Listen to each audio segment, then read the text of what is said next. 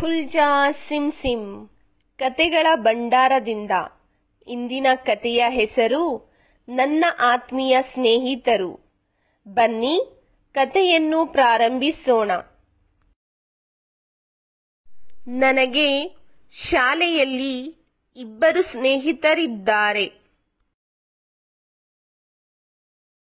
ಮತ್ತು ಸುಜಯ್. ನನಗೆ ಇತರರು ಸ್ನೇಹಿತರಿದ್ದಾರೆ. ಈ ಮಾವಿನ ಮರ ನನ್ನ ಆತ್ಮೀಯ ಗೆಳೆಯ. ಈ ದೊಡ್ಡ ಯಂತ್ರ ಕೂಡ ನನ್ನ ಆತ್ಮೀಯ ಸ್ನೇಹಿತ. ಈ ಕಡಲೆಕಾಯಿ ಮಾರುವ ಚಿಕ್ಕಪ್ಪ ಸಹ ನನ್ನ ಗೆಳೆಯ. ಹೊಸ ಗೆಳೆಯ.